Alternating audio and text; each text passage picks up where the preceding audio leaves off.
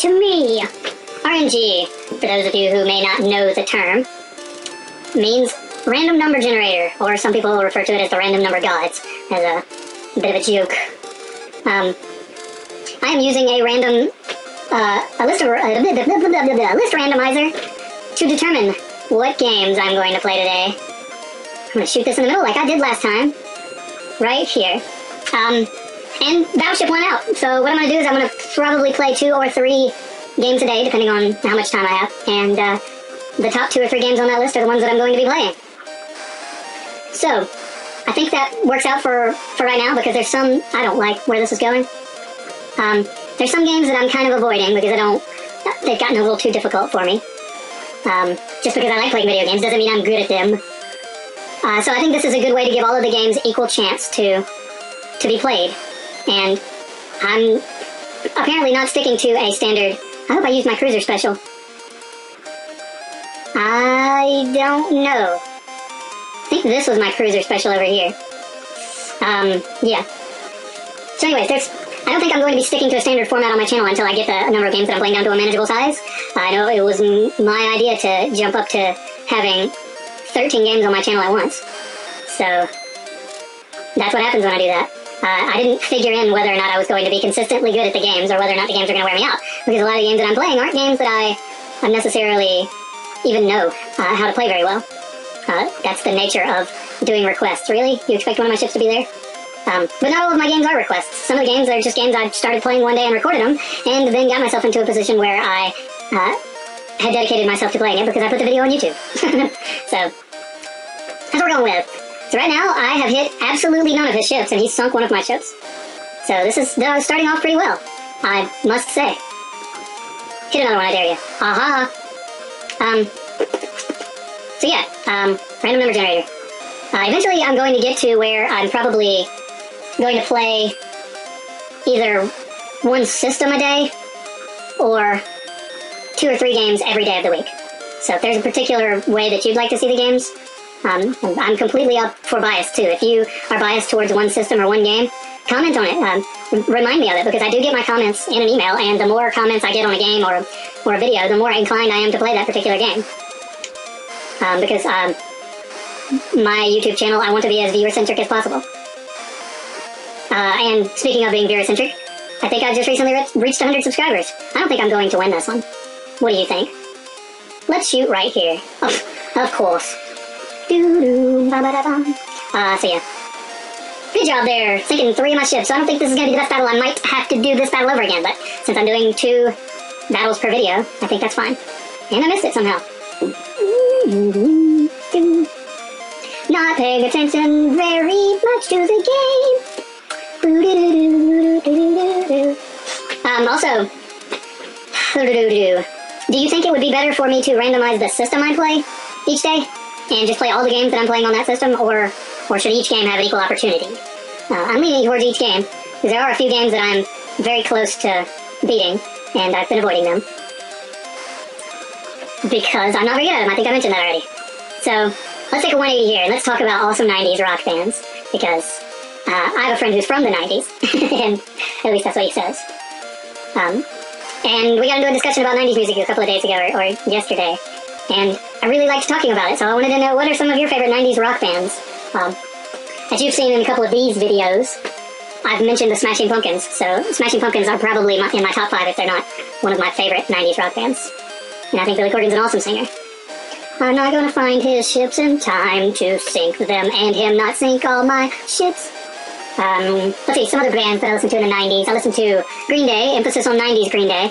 I liked their first three or four albums. Um, uh, da, da, da. My brother had the album Dookie, and we both split the cost of the album Insomnia or Insomniac, I'm not sure what it was, and we played that CD out. That CD was awesome.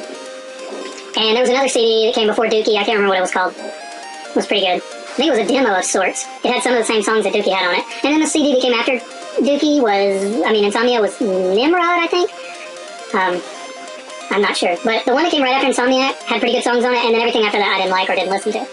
It got too uh, whiny slash political for me, and I don't like either of those types of things. This coming from the person who likes Billy Corgan.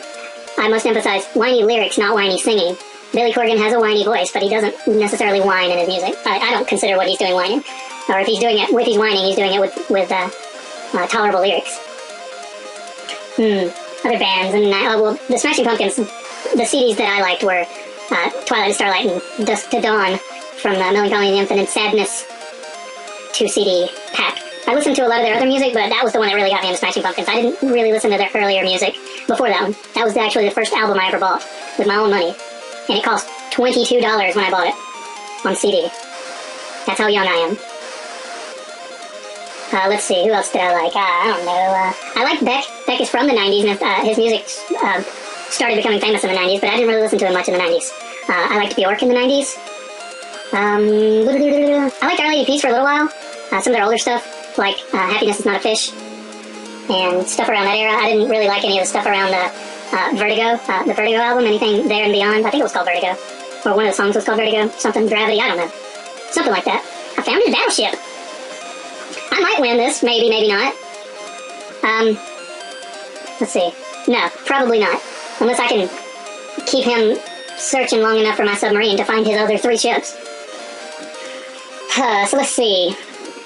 The kind of music that really made me start uh, seeking out and finding music and wanting to know more about it was when I started listening to Aphex Twin. And Aphex Twin, I started listening to Aphex Twin after I listened to Prodigy, and I started listening to Prodigy after I listened to the Chemical Brothers. Uh, so let's see, I got into the Chemical Brothers, and that was the first electronic band that I really liked. They uh, pretty much everything after that. My primary focus after listening to the Chemical Brothers was finding new and awesome um, electronic music. So I went from the Chemical Brothers to uh, Prodigy and the Crystal Method and stuff like that, and My first Chemical Brothers album was the uh, was Dig Your Own Hole, which I still maintain is one of their top two albums, if not their best album. And let's see, the Crystal Method was Vegas. I didn't really like anything after that until Legion of Boom, which I haven't listened to enough. Uh, it really sounds like the proper sequel to Vegas, in my opinion. And Prodigy, the album I liked most by them was probably uh, it was probably a tie between the Prodigy experience and music for the Jilted generation.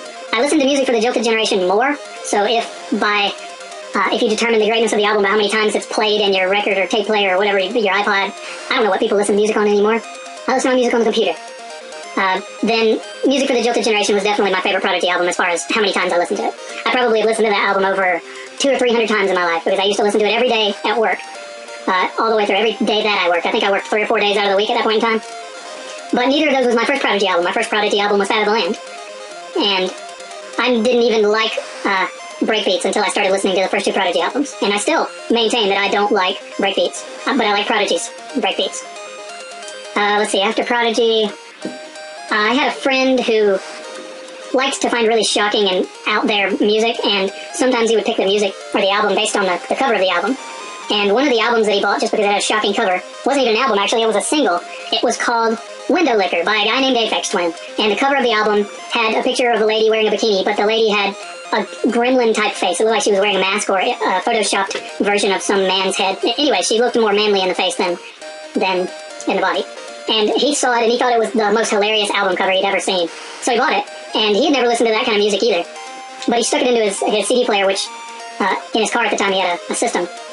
I had two tens or something like that in his car that sounded like 12s. And he stuck it in his car, and the, the first song that came on was the song Windowlicker. And that song was absolutely crazy. Neither of us had ever heard anything like it. Uh, he had heard it once before.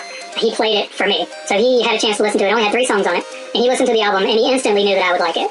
Uh, because he saw that I was progressing slowly into the more intelligent type of electronic music. Okay, let's see. I have the four and the five and the three, so I need the two and the sub, obviously. So let's try up here. No. Hopefully you won't find my sub. And that would be just great.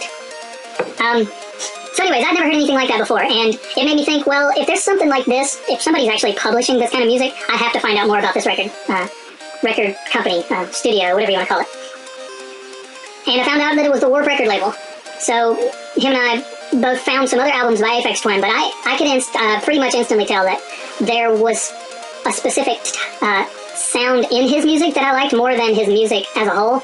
There were certain effects that he was using on the synthesizers uh, and the computer programs he was using to make his music that I liked more than the songs as a whole. Even though most of his songs were pretty good throughout, I could tell that it was the sounds more than the music that I was enjoying. So I found a, I found other music on that record label. Um, first, I went to the store and I said, okay, well, I'm going to find somebody else who's on the Warp record label. And I, I found uh, the Aphex Twin record on the shelf and looked on the back of it. It said Warp. That's how I knew that it was from the Warp record label. Um, so I looked around on the shelf near Aphex Twin, and the first thing next to Aphex Twin from the Warp record label was a band called Autechre. So I said, hmm, that's interesting. Well, which album should I get? There was about three or four, and one of them was only $11, and it was a two CD pack. So I said, okay, $11 for two CDs, that's basically $5.5 per CD. I think that's a pretty good deal. So I'm going to buy that. And it was the album. Did I did I just win? What? How did, how did I win that? That is awesome. That is so awesome.